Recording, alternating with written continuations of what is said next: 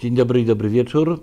Wycinanki prasowe, ostatnie przed drugą turą wyborów prezydenckich i próba mojej odpowiedzi na pytanie, y, czy tygodniki opinii, niezależne, profesjonalne tygodniki opinii wygrały tę kampanię przed drugą turą, czy nie wygrały. Moja teza jest niestety pesymistyczna. Przegrały i to z kretesem.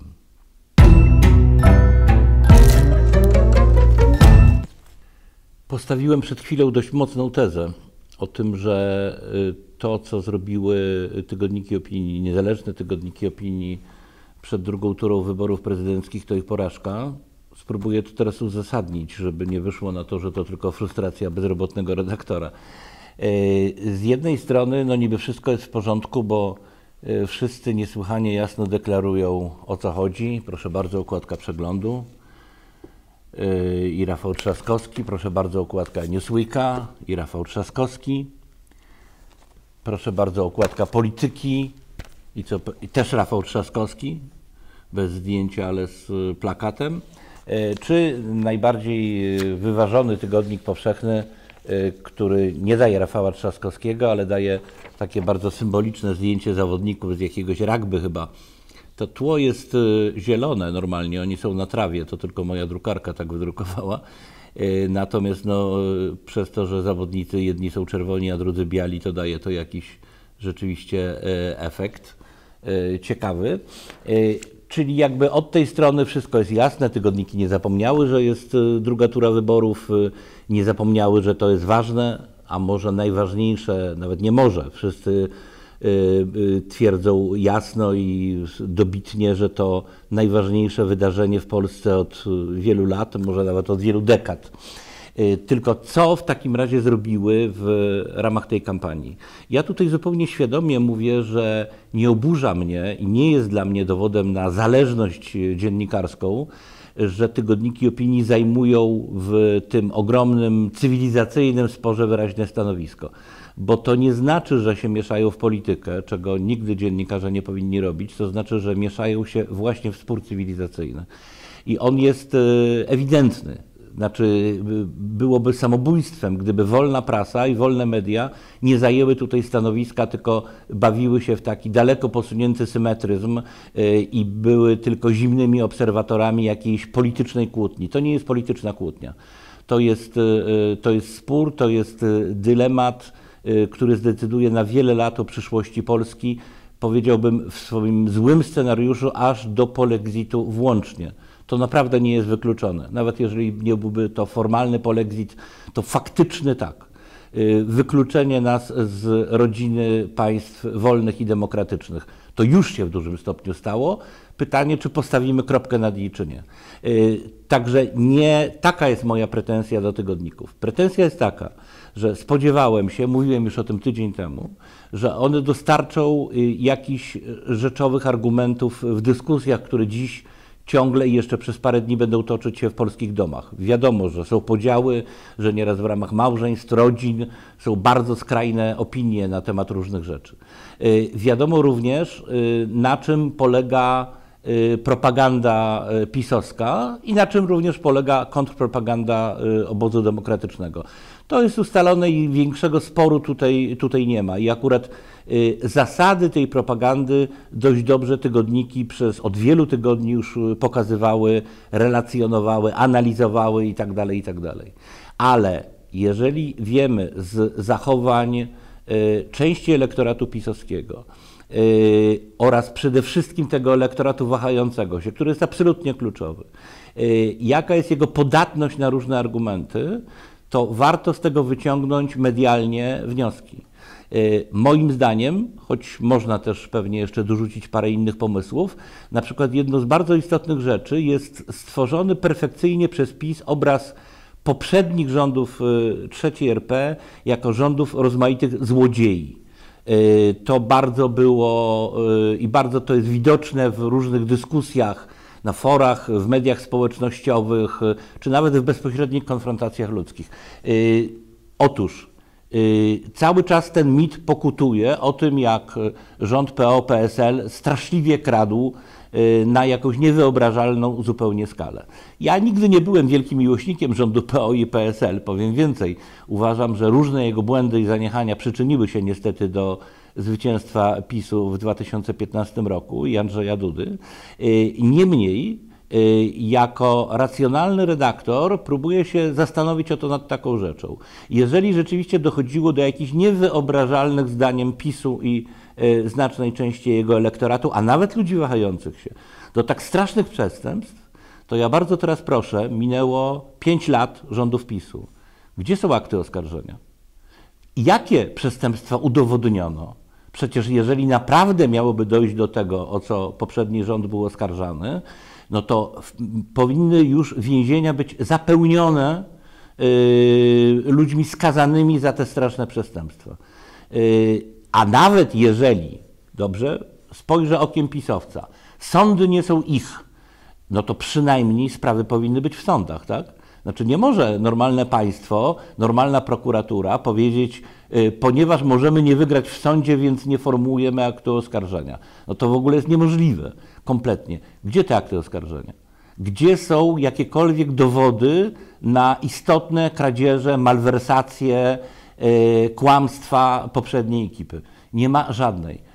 Otóż żaden tygodnik o tym nie napisał. Żaden tygodnik nie zrobił przeglądu licznych, bardzo i dość konkretnych na pewnym etapie, głównie w 2015 roku, zarzutów propagandy pisowskiej wobec konkretnych polityków ministerstw E, rządu PO-PSL i nie zestawił tego z efektami dzisiejszymi. E, żaden tygodnik tego nie zrobił. Dla mnie było to oczywiste, że to jest jakieś zupełne abecadło e, dziennikarskie, które powinno być wykonane. Czyli nie zrobił takiego prostego zestawienia.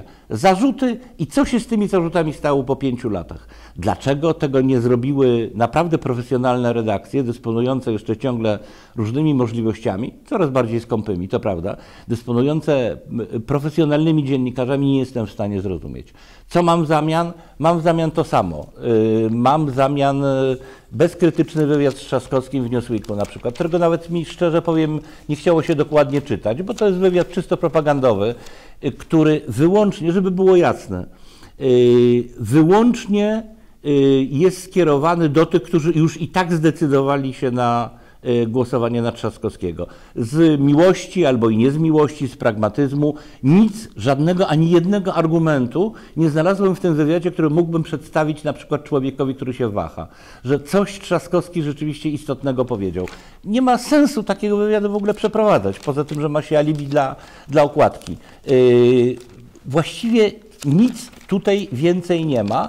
Owszem, jest kolejny bulwersujący tekst Y, będący kryptoreklamą w Newsweeku, y, z serii takiej, którą już wyklinałem kilkakrotnie, prezentacja partnera finanse i tu się dowiadujemy, że pandemia koronawirusa to trudny okres dla wielu przedsiębiorców, w tym zamożnych. Bank ma wiele pomysłów, jak, może najlepiej, y, jak można teraz najlepiej chronić ich majątek. I jest tutaj mowa o grupie BNP Paribas. No rzeczywiście bardzo ważny materiał wyborczy, powiedziałbym. Y, dla milionów Polaków, jak zamożni mogą chronić swój majątek, co zresztą od razu we mnie jakąś, y, jakąś taką żaróweczkę alarmową uruchamia. Y, zacny wywiad z Marcinem Królem, nadal to samo, tak? Marcin Król od już wielu miesięcy pisuje i wypowiada się ciekawie, interesująco. Y, nic nowego, nic kompletnie nowego. Wszystko to samo, co już 100 razy mogliśmy przeczytać i znowu żadnego argumentu, który mógłbym przedstawić człowiekowi wahającemu się. I to jest właściwie wszystko w Newsweeku. W przeglądzie yy, yy, z jednej strony należy z pewnym rozbawieniem docenić, że eseldowskie pismo jednak twardo stawia na, na Rafała Trzaskowskiego, E, i wyraźnie żąda takiej właśnie zmiany, e, ale z rozbawieniem, ale też z uznaniem. E, I znowu też rozmowa z Rafałem Trzaskowskim, te same zarzuty. Nic tutaj więcej, nic z tego wywiadu się nie wyciśnie. Utwierdzamy wyłącznie samych siebie, co jest absurdem. To jest kompletnie kontrproduktywne. Jeżeli w ogóle jakikolwiek materiał, niezwiązany właściwie z polityką, no, związany luźno, to, to na pewno mógłbym polecić wywiad z Pawłem Sztarbowskim, dyrektorem artystycznym Teatru Powszechnego w Warszawie. to tym od tej słynnej klątwy, bo to znakomity teatr e, i na szczęście wraca już do żywego grania. No ale umówmy się, mimo że teatr e, zajmuje się sprawami politycznymi, że miesza się, wtrąca się w, w życie publiczne i w życie polityczne, no to jednak nie jest to materiał, z którym mógłbym coś przed drugą turą wyborów zrobić.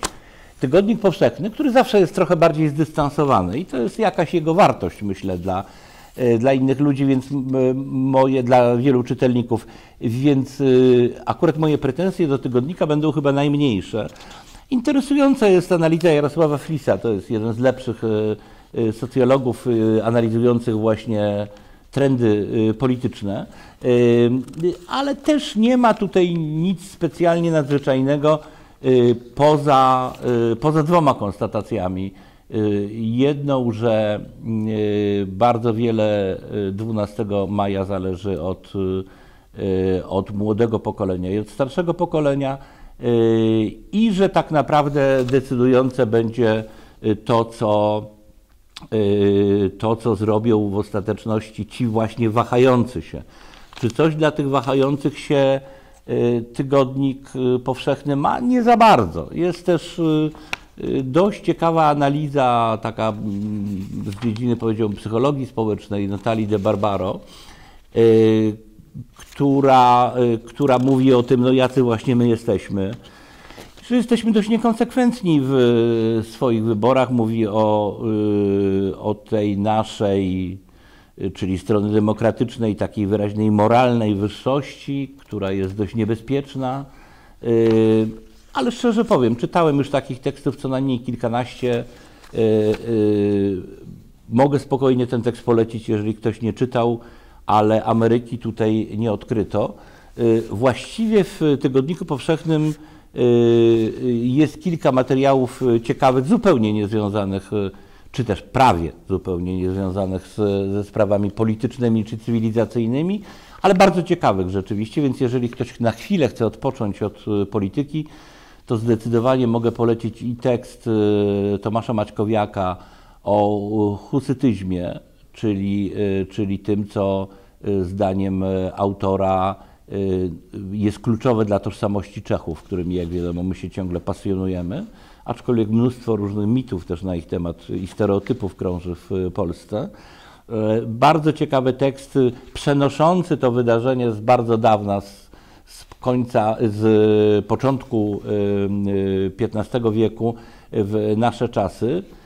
Niesłychanie kompetentny autor. Zawsze, jeżeli Tomasza Maćkowiaka widzicie, to należy go czytać, a publikuje na szczęście nie tylko w Tygodniku Powszechnym, bo i czasem w Polityce na przykład. Y, bardzo też ciekawa rozmowa z etnobotanikiem Markiem Plotkinem, Amerykaninem, jak rozumiem, który zajmuje się Amazonią. Y, i y, przypomina, i to tak zajmuje się z pasją niesłychaną, lasy tropikalne to dom dla 50% gatunków naziemnych, które w ogóle żyją, żyją na kuli ziemskiej. Dla Amazonii brakuje skali. Żyją tu małpy wielkości myszy i trzy gatunki żab tak ogromnych, że są w stanie zjadać nietoperze. Są unikalne ekosystemy, wspomniane korony drzew, zatopione lasy, wyspy na rzekach, rafy koralowe i dryfujące łąki, które mogą osiągnąć wielkość 2,5 km kwadratowego. Spaceruje po nich kapibara, największy gryzień na świecie, ważący do 90 kg, ale co najważniejsze, mówi y, Mark Plotkin, dzięki pytaniu dziennikarza, przypomnieniu dziennikarza, że z lasu, yy, yy, że z lasu w Amazonii pochodzi 25% współczesnych leków. I Plotkin na to dodaje, że jedna na cztery rośliny kwitnące na Ziemi żyje w Amazonii. Szacuje się, że samych gatunków drzew jest tu ponad 16 tysięcy. To ogromne bogactwo. W Surinamie, gdzie od lat prowadzę badania, jest takie e, powiedzenie: Amazonia zna odpowiedzi na pytania, których jeszcze nie zdążyliśmy zadać. Czasem to są nowe pytania i nowe odpowiedzi, czasem stare odpowiedzi na nowe pytania. E, bardzo ciekawy wywiad, ale też mówiący przy okazji jeszcze o, e, o tym, jak szamani, u nas na ogół kojarzący się dość źle, jak nieprawdopodobną wiedzą taką przyrodniczo-lekarską dysponują, na co są tutaj liczne dowody, nawet bezpośrednio dotyczące Marka Plotkina, którego właśnie szamani wyleczyli z czegoś, czego klasyczna medycyna nie była w stanie go wyleczyć, ale też wyraźnie ten etnobiolog mówi, że nigdy nie powiedziałem, że szamani mogą wyleczyć wszystko. Podobnie jak nigdy nie mówiłem, że szamańskie leki są lepsze od syntetycznych. Jeśli ktoś stawia pytanie przyszłość medycyny to mikrochip czy szamanie, moja odpowiedź brzmi jedno i drugie. Y, to bardzo ciekawe. I wreszcie coś, no, co trochę pod politykę niestety podpada, czyli y, wywiad y, Anny Kiedrzynek z Michałem Błochem, lekarzem hospicyjnym, który pracuje w, w zakładzie opiekuńczo-leczniczym dla dzieci Czyli to są te takie dzieci, które urodziły się z ciężkimi, nieodwracalnymi wadami. E, no po części te, e, które w innych krajach się nie rodzą, dlatego że aborcja jest e, powszechnie dostępna i one na ogół niestety w ogromnej części trafiają, rodzice ich nie chcą, bo nie są w stanie sobie po prostu poradzić z tym potwornym nieszczęściem, trafiają do takich domów i to jest ten aspekt, o którym zażarci tak zwani obrońcy życia w Polsce zapominają, a wywiad y, zaczyna się od tego, że Kiedrzynek pyta, y, napisał pan kilka miesięcy temu list do posłów PiS i Konfederacji z Dolnego Śląska, którzy poparli projekt Kai Godek. Odpowiedzieli i Michał Błoch, czyli właśnie y, tenże lekarz, odpowiada, nawet nie odpisali na maila. Inni posłowie z tej partii lubią mówić, że aborcja powinna być zakazana, bo dziecko z ciężką i nieodwracalną wadą można oddać. No to właśnie w jakie warunki się oddaje, w jakie warunki przede wszystkim prawne, bo akurat i lekarze, i pielęgniarki, zakonnice zresztą w tych ośrodkach zachowują się, jak z tej rozmowy wynika, wspaniale, ale to jest zdecydowanie za mało. Yy, ważny, ważny tekst. Yy, I wreszcie na koniec polityka, no, która tradycyjnie mimo wszystko chyba najmniej mógłbym do niej pretensji skierować, choć to tę podstawową, o niedostarczenie nam dobrego kompletu informacji, przypominających i pozwalających y, y, na użycie w rozmowie z ludźmi wahającymi się albo dość miękko popierającymi PiS, bo tego też tutaj nie znajdę, ale na przykład polityka wpadła na taki oto numer, że mnóstwo dziennikarzy, a to redakcja składająca się z mnóstwa bardzo rzeczywiście wybitnych dziennikarzy, każdy z nich y, pisze jakby swoje uzasadnienie Y, dlaczego, y, dlaczego wybór Andrzeja Dudy może być y, tragedią dla Polski. I to jest Jacek Żakowski, Ewa Siedlecka, Adam Szostkiewicz, Anna Solska, Bartek Haciński, Adam Krzemiński, Ewa Wilk, Edwin Bendyk, Sławomir Sierakowski, Marek Sierczyński, Marian Turski. Y, no absolutnie powiedziałbym creme de la creme polskiego dziennikarstwa. No i jest, jeżeli przeczyta się to w całości, to jakąś to taką funkcję powiedziałbym informacyjno-motywacyjną spełnia. Dalej mamy wywiad z Trzaskowskim, taki jak mówiłem, świetny wywiad dla tych, którzy już dawno zdecydowali. Y, I dobra, kolejna, ostatnia już y, analiza analiza y, sondaży przedwyborczych Rafała Kalukina i Marcina Dumy z Ibirisu, Kalukin z polityki, Duma z Ibirisu. Y, bardzo dobra, choć rozczaruje Państwa, nie ma odpowiedzi, kto wygra. Jest raczej mnóstwo znaków zapytania i jak dla mnie jest właśnie coś takiego. Wszyscy ci wahający się będą języczkiem uwagi. Y, I dlatego mam taki żal, że nie dostarczono mi jako obywatelowi y, dobrych, y, dobrych materiałów do przekonywania ich.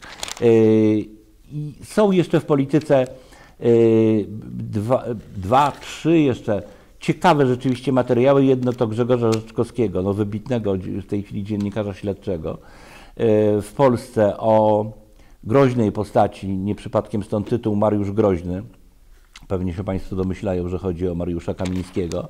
Jakie stworzył on imperium y, i jak jest y, człowiek, tak oto człowiek, któremu jeszcze pięć lat temu groziło kilkuletnie więzienie, dziś za kulis trzęsie państwem. Jak trzęsie państwem? No przede wszystkim y, ukrywając wszelkie afery PiSu. I wszystkie służby, które są mu podległe, nikt nigdy nie miał takiej władzy, zajmują się w zasadzie tym jednym. Jest y, y, także to, y, to pewnie warto przeczytać. I dwa materiały nie wprost, ale dające też trochę oręż w rozmaitych dyskusjach. Jeden to jest Adama Grzeszaka o ofensywie jądrowej, czyli o wielkich e, kolejnych obietnicach PiSu, jak to za chwilę z Amerykanami zbudujemy elektrownię atomową. Grzeszak w bardzo dobrym, jasnym, e, kompetentnym tekście wyjaśnia, że nie zbudujemy. E, Dlaczego? E, Dlaczego to nie jest tylko wredna antypisowska propaganda? Sprawdźcie Państwo sami. Naprawdę e, warto już choćby dla tego tekstu tę politykę kupić, bo to ważne.